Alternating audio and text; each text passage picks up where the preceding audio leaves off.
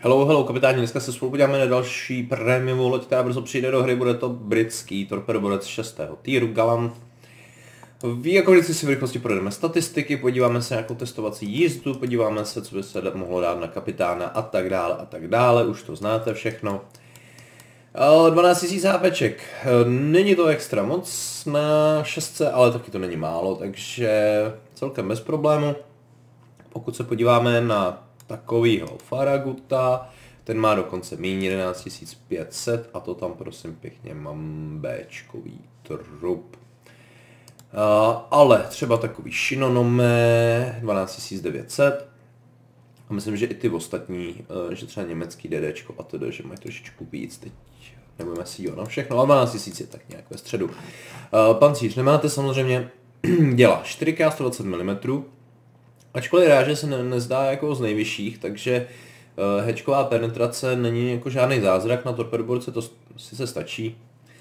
A na bitevky třeba hlavně, když se dostanete do osmiček, už to samozřejmě jako žádný, žádný jako pecky nebudou.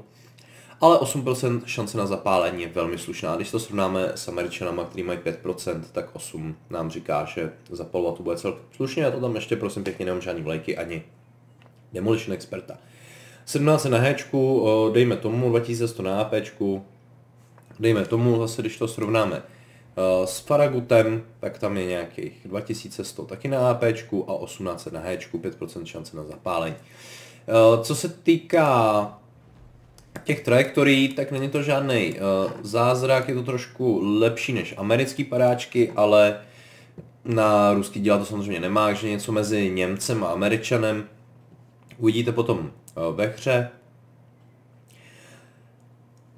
Dostřel 10,2 km zase bez nějakých uh, perků na kapitánovi, myslím si, že na prostém pořádku. že se točí rozumně rychle, 18 sekund. Ani tam nemám, jestli se nepletu, nemám tam expert marksmana. Takže dá se to ještě zrychlit, ale celkem to stačí i bez toho. Není to asi plně nutnost. Měl 5 sekund reload, jsem nezmínil. 4 dělat není moc, ale vaše palebná síla je celkem solidní na nějaký dělový souboje s jinýma torpedoborcema. Nebudete úplně jako zabiják, to určitě ne, jako i japonský DDčko vám dokáže pěkně naložit, pokud se do něj pustíte, ale na nějakou lepší obranu a případně nějaký do zapálení něčeho, co jste vytorpili, to bohatě stačí. A vaší hlavní zbraní jsou torpeda, které musím říct, že jsou velmi, velmi, velmi, velmi solidní. Jejich největším problém je asi poměrně dlouhý reload, minuta a půl a to tam mám zase myslím už skill na torpedo reload, ano. Minus 10%, takže bychom byli ještě někde vejš, než těch 86 sekund. A to je asi takový největší problém. Jinak eh, těch torped eh, na jednu salvu je 8, což zase na 6C myslím, že je docela pěkný. Hlavně s dojezdem 8 km, rychlostí 61 uzlů, když si srovnáme třeba s torpedama z Anshana, tak kterých má 6 na salvu, přebíje o 15 sekund rychleji. Eh, dosah mají stejný, eh, jsou o úzel pomalejší, spot 1,2 km, 14 400 damage a tam myslím, že Galant na tom ještě o něco líp. 15 400 a spot teda 1,3, to je trošičku horší. Ale damage o tisícovku vyšší, o úzel větší rychlost, a hlavně v té salvě jsou, je o dvě torpeda víc, takže dá se říct, že pokud si přičteme ty dvě torpéda a ten časový rozdíl mezi uh, Reloadem Arshana a Galanta, tak uh, si to doufnu říct, že jejich kapacita jakoby torpédová je velmi, velmi podobná. Anchan má samozřejmě trošku lepší děla. A je o něco rychlejší, mám takový dojem, i když tady na té šestce asi ne. A o dva uzlíky, takže o něco malinko jo. A z toho nám tak nějak vyplývá, že ten, že Galant celkem rozumně vybalancovaný, neměl jsem s tou lodí jediný problém, nepřijde mi ani nějak jako extra, extra OP, ani nějak jako špatná, prostě takový eh, šestkový torpedoborec prémiový, co, co celkem sedí prostě do těch uh, lodí, co potkáváte jak jsem říkal, vaši hlavní zbraní budou rozhodně torpéda, protože jich je hodně, mají celkem punch, 15500 damage, celkem pěkný na šestce a pokud něco trefíte, tak to bude znát. Co vůbec nemáte protiletadlová obrana, to můžete klidně nechávat zaplý, protože jak dosah, kde mi jsou směšný a nemáte. To je asi největší nevýhoda, že pokud někde zůstane nějaký, mm, nějaký spotovací letadlo po nějaký mrtvý lodi, nebo se vás rozhodne spotovat letadlovka, tak vy s tím vůbec nic neuděláte. Ale není to asi, na té šestce to není asi úplně takový obrovský problém. Manevrovatelnost, 540 metrů poloměr otáčení velmi solidní, stejně tak jako kormidlo 3 sekundy, eh, stejně tak jako rychlost 36 uzlů, ani teď tam mám modul akorát na na pohon, kormidlo už mi přišlo, že není nutný zlepšovat, ale co tady z těch statistik neuvidíte až potom ve hře, ta loď je strašně, strašně obratná, strašně dobře uh, akceleruje, hlavně pokud máte engine boost zapnutý, consumable, a plus tady s tím modulem dokáže se vyhnout hromadě věcí, hromadě eh, granátů, který poletí vaším směrem a tak dále a tak dále. Takže co se týká obratnosti, je to strašně příjemný s Galantem hrát a skoro bych, že to je jedno z nejobratnějších eh, DDček ve hře. Eh, opravdu bylo strašně příjemný s tím manévrovat plout, jakmile fakt přijdete třeba na ruský torpedoborce nějakých vyšších tírů, tak vám to bude připadat úplně obrovský rozdíl. Strašně mrštná lodička. Hm, detekce z moře 6 km, ze vzduchu 3, to je rozhodně velký plus. Eh, zase Anshan, to je takový trošičku, že jo, eh, nechci říct OP, ale takový je lepší šestkový DDček, má 6,3, což není o tolik horší. Ale když to srovnáme třeba s takovou Shinonome, co má 6,1, je horší spot než vy. Faragut má samozřejmě hodně, má nějakých 6,6 a na 6 myslím ještě Fubuki a Z co tam je? Uh, ne, tam je uh, Gaide na šestce za Němce. Gaide si myslím, že má o něco, určitě, no, určitě rozhodně víc a teď, abych řekl pravdu, tak nevím z hlavy, spot na Fubuki bude v základu nějakých 7 km, 10% dolů, takže vlastně plus kamufláž jsme na nějakých 6,2, jestli se nepletu, jestli dobře počítám. Takže ve výsledku Galant má nejlepší uh, kamufláž, pokud jsem něco nepřehlídnul, ze všech šestkových torpédoborců. Uh, ale u té Fubuky se možná ještě nezohlednil další trup, jestli třeba nemá nižší. Možná Fubuky bude mít o něco méně, ale rozhodně 6 km spod velmi solidní hodnota. To byla celá moje pointa, jo, co jsem chtěl říct. Takže určitě, určitě máte výhodu i v soubojích s nepřátelskými torpedoborcema a trošku víc prostoru, když chcete něco torpedovat, takže rozhodně, uh, rozhodně velký plus. Moduly klasika na jedničce, um, Main Armaments Modification 1, na dvojce mám Aiming System Modification 1 ne kvůli přesnosti, ale kvůli tomu, aby se rychleji se otáčely torpédomety, může se to hodit, Ačka jsou k něčemu a věže se otáčejí rychle, nechcete si zpomalovat reload, takže tady nic jiného nemá moc smysl. Možná bych, eh, pokud máte modul na další dobu eh, engine boostu, který vám vypadnul ze, třeba ze superkontejneru, tak určitě doporučuji na každý DD, takže i sem.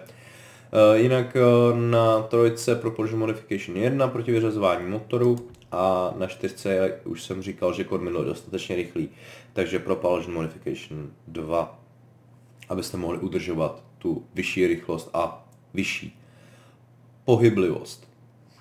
To bylo co se týká modulu, konzumably, něco speciálního, engine boost, smoke, jinak ty smoky teda netrvají nějak extra dlouho, uh, tady nějakých 81 sekund, takže necelá minuta, minuta 20.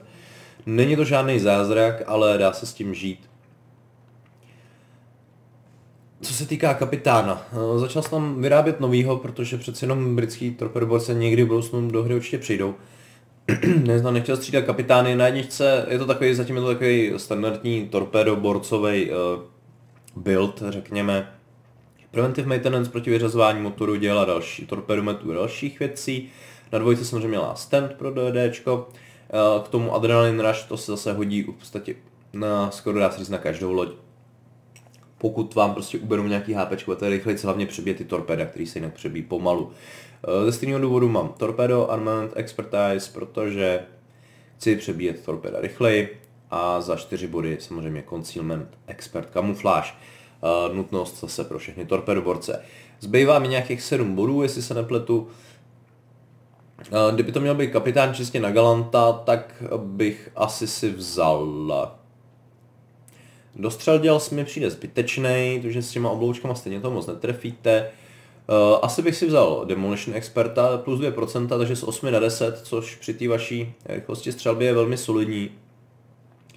Smouky mi nepřišly až tak, jako že bych uh, nějak jako extra střílel ze smouku, spíš to taková vaše obrana, takže si myslím, že Super Intendant je celkem taky zbytečný. Uh, takže potom by byla možnost buď uh, základní střelecký výcvik, abyste rychle stříleli, hodí se to jak na souboje s DDčkama, tak na uh, zapalování bitevek, že jo, ve spolupráci s Demolition Expertem, nebo HPčka. Tam je to možná trošku na hraně, protože na šestém týru ten násobič je 6, že jo, 6x350,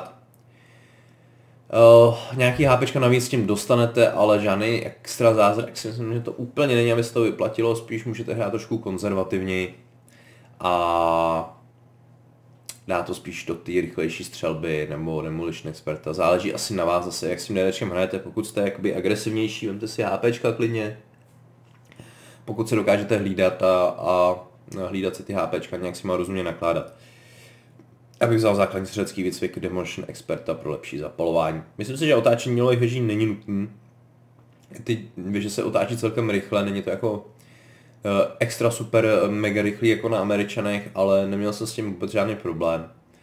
A za ten poslední bodík uh, Priority Target ideálně, případně Expert Loader možná se může hodit a za to bych dal asi těch posledních 7 bodíků. No, můžete si samozřejmě vzít i za 4 bodíky třeba Radio Location, prostě jenom jste takový spíš torpedový DDčko k těm soubojům, třeba s americkýma DDčkama, ruskýma se určitě chcete vyhejbat a vědět, kde e, je váš nejbližší nepřítel se vždycky hodí a za další tři body právě třeba Demolition Experta. Případně základní střelecký výcvik taky určitě možnost, ale tady ten těch základních 12 bodů si myslím, že bych určitě neměnil, že takhle, takhle je to na Galanta naprosto v pořádku. Tak to bylo dost keců, projeli jsme kapitána, statistiky, moduly a mrkneme se na živou hru. Takže hrajeme na mapě sousedí Neighbors. O, to, to, to, matchmaking dobrý, respektive takový jazyc, s čím se budete setkávat. Nejčastěji to znamená sedmičková hra. Ono teda musím říct, že ten Galant mi nevadil vůbec ani v těch osmičkových uh, hrách, protože samozřejmě můžete potkat silnější DDčka, ale jelikož jste obratný a ten spot nemáte o tolik horší než eh, osmičkový DDčko s modulem, uh, s kamufláží, na to nejvíc trpí sedmičkový DDčka, který mají nějakých těch 6-7, 6-8 a tak dále. 6 km je jako solidních i v těch osmičkách, hlavně teda proto, že japonský DDčka vás sice přespotují vodos, ale jak jste pohybliví, tak si vyhnete. Americký vás potnou o něco dřív, ale nevím, pokud nebudete vysloveně jako si o to říkat, taky v těch eh, osmičkách se dá jakoby celkem, celkem mi to, no, celkem rozumně to jako uhrát. Já tady pouštím nějaký preemptive torps, takový ty náhodáky typický, možná to budu litovat za chvíli.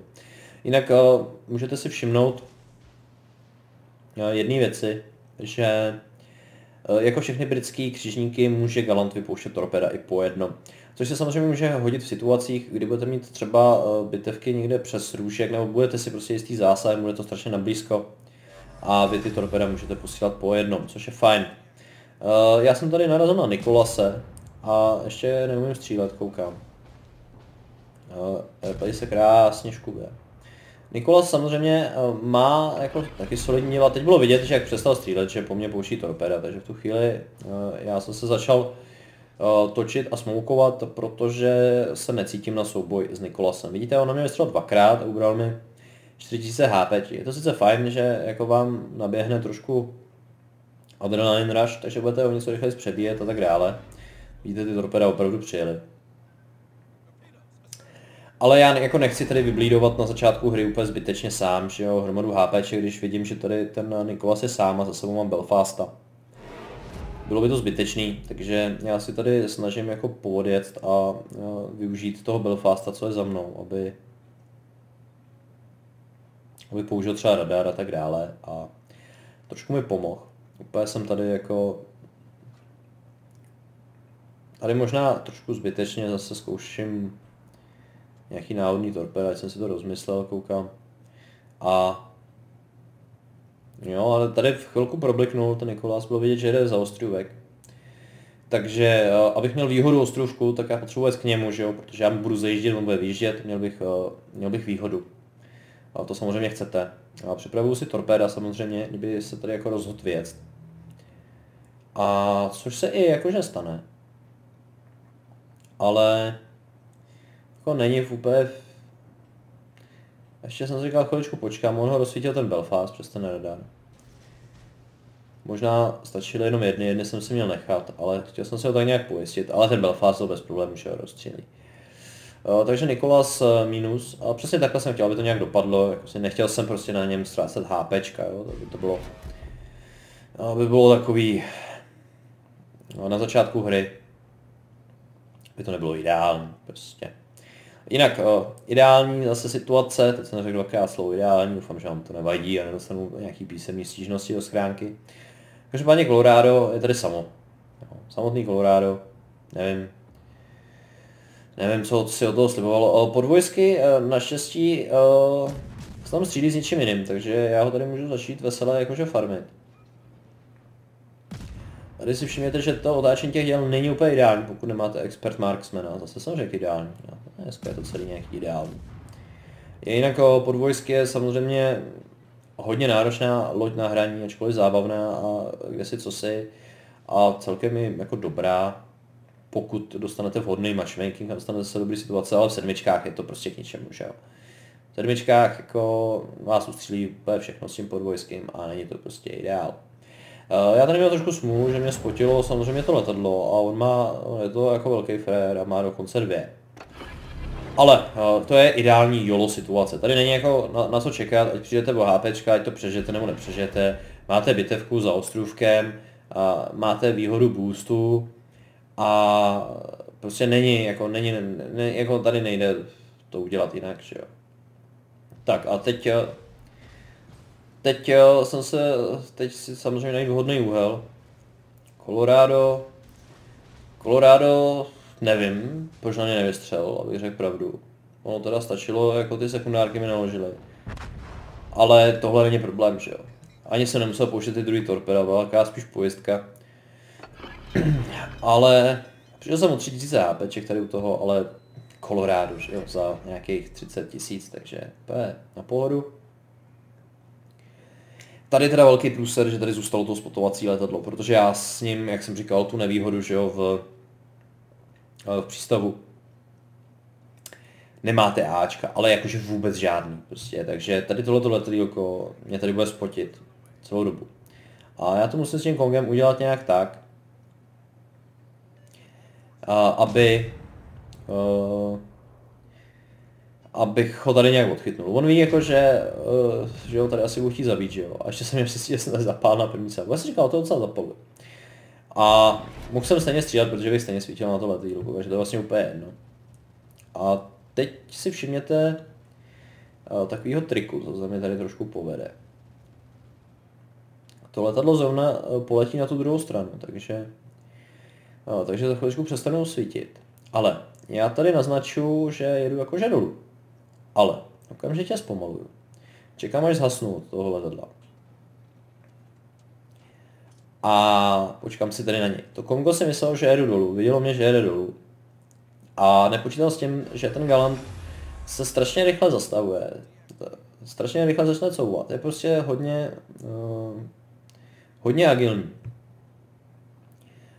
A navíc teda si to Kongo uhasilo uh, oheň, takže já mu si to torpedo reakci dát flooding, že jo, protože on s tím nemá co on tomu nemůže nějak zabránit. Takže tady na nějaký 3, kolik to je, 3,8 km.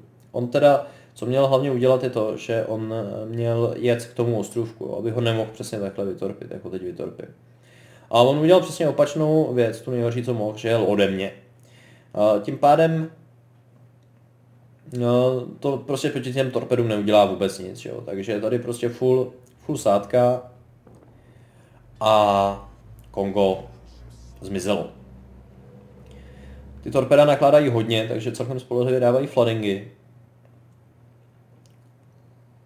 Takže i kdybych trefil aspoň jedno, tak, eh, tak eh, to Kongo by stejně jakoby fladovalo potom, už by se to nemohlo opravit, že? Každopádně ta situace na, jako na mapě se nevyvíjí nějak jako extra dobře. Tady jako sice vytopil dvě bitevky a kepli jsme to, zabili jsme dvě DDčka, ale všude jinde na mapě to náš tým prohrál. Když se podíváte na mapu, tak je vám jasný, že Koenig brzo umře.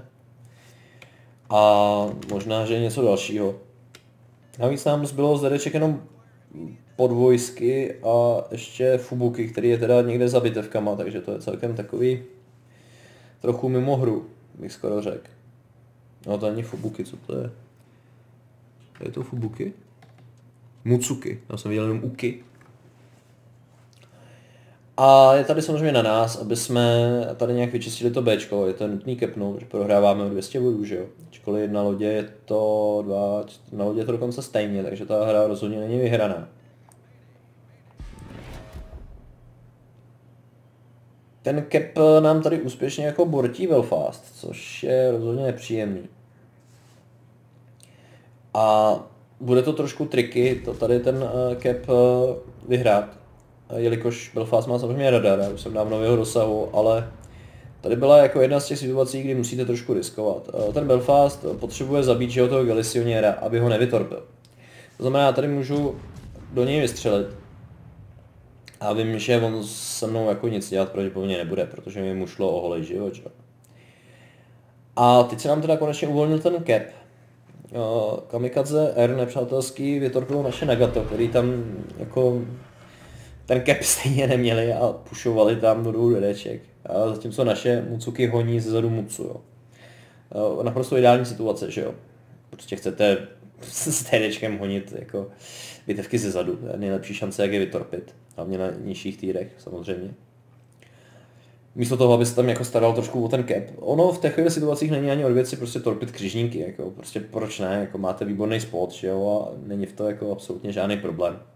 Než se honit eh, jako ze zadu na bitevku, protože to je absolutně bez šance, jakkoliv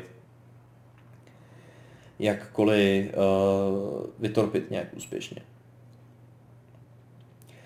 Jinak teď už eh, na lodě teda vyhráváme, o jednu loď vyhráváme, teď už teda zase ne. Takže se to trošku přelejvá ze strany na stranu a teď je tady velký problém York. York je samozřejmě sedmička, ačkoliv to není nejlepší sedmičkový eh, křižník všech dob, tak eh, má plný HPčka a může tady s tím řádně zamíchat. Jestli se nepletu, náš Belfast rozhodně plný nebyl. A navíc tady je, je i Fubuki. Ale byly takový jako dvojitý torpéda, jak na Fubuki, tak na toho Jorka, samozřejmě. Já se tady snažím spotit pro toho Belfasta a nějak jsem jako doufal, že si dá třeba smoke a on jako si smoke úplně nedává, tak nevím, co se děje. Každopádně já už tady uh, zase jedna z těch jako rozhodujících situací, kdy jako nejde moc úplně prostě zůstat uh, mimo hru, že jo. A minimálně to Fubuki je třeba nějak solidně uh, rozstřílet. Naštěstí se ujelo jedno torpedo do Yorka, což hodně pomohlo, že jo. Nejenže dostal flooding, a ještě mu zmizely nějaký ty HPčka.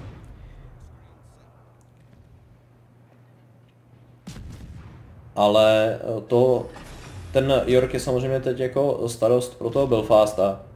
A naštěstí tady je i podvojsky, takže společnýma silama tady to Fubuki jakoby eh, rozstřílíme, což je jako fajn ale ten New York pořád je problém, navíc nějak tak začali střílet po mně. Čehož nemám radost. Uh, Belfast si konečně teda smoke, možná čekal na nějaký vhodný okamžik, což, je, což možná nakonec bylo docela jako dobrý rozhodnutí. A teď si tady celkem v klidu může do boku APčkama toho uh, Jorka jako sfarmit, že jo. No teda už se, už se mu naúloval, že půjde k němu rovně. Ale ten York už si nebude mít větší problémy. Já vím, že tady mezi tím Yorkem a mnou je smoke, takže můžu celkem bezstresně střílet. Torpeda jsou vidět, takže těm se snad Belfast vyhne. A já se tady snažím toho Yorka nějak jako připálit, protože by nemusel mít úplně opravu, no a naštěstí se to povedlo trošku mu pomoct. Tak teď ukázal zase bok, takže už to vypadá, že to klapne. Tak, eh, York je dole, eh, tím se to jako hodně vyřešilo, protože ten York byl plný, že jo, to jako byl problém. A plný York, jak jsem říkal, v sedmičkách dokáže zavařit. Naštěstí Belfast je OP jako prase, takže má radar, má mm, má smoke, navíc mu to spotil ten podvojský tam ze zdola, který musím říct uh, takhle zpětně, že hrál chytře, že nechcípnul jako třeba ten jejich někde zbytečně a byl u těch důležitých věcí, třeba jako nenasekal nějaký, hromad, nějaký hromady damageů a, a podobně, ale prostě byl užitečný, že jo. Teď navíc může dojet kepnout to Ačko a za to expy taky jsou. Rozbil tam nějaký EDčko, uh, prostě pokud budete hrát i to podvojskýho takhle v nějakých těch nižších týrech, tak uh, dá se to.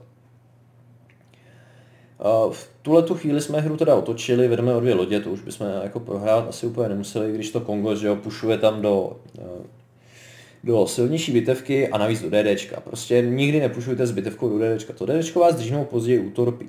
Pokud nemáte vysloveně možnost, že prostě pokud to, to neuděláte, tak tím prohrajete hru, ale to DDčko má potom vždycky strašně výhodu. Jo, protože jako dřív později vás utorpí, hlavně kamikaze, který má jako šíleně nízký reload těch torpéd a můžete být dobrý, jak chcete a každý DDčko prostě i po chvilce, kdy to začne třeba pouštět do té bílé vyseče, zjistí, že to nefunguje, tak vám to bude začne dávat náhodně a dřív nebo později si do nějakého torpéda najdete. Taky vidíte, že Kongo už je skoro mrtvý. No, má půlku, ale v tuhle chvíli je v podstatě mrtvý, že jo, protože no, dostalo, dostalo salvu a hotovo. A nikdy prostě nepušujte to DDček a ještě do silnější bitevky, že jo. Mucu má, dělá velký ráže, ač to není nejlepší bitevka ve hře, tak s Kongem si pohraje úplně prostřelí kamkoliv.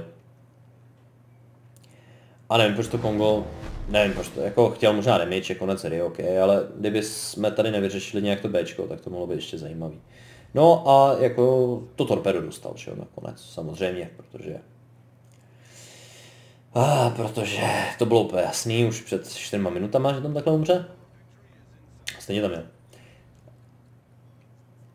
Tak, uh, už tady máme na Mucu a Kamikadze. Máme hlavně všechny tři kepy a oni nejsou v pozicích, kdyby mohli nějak pohodlně dojet k těm kepům.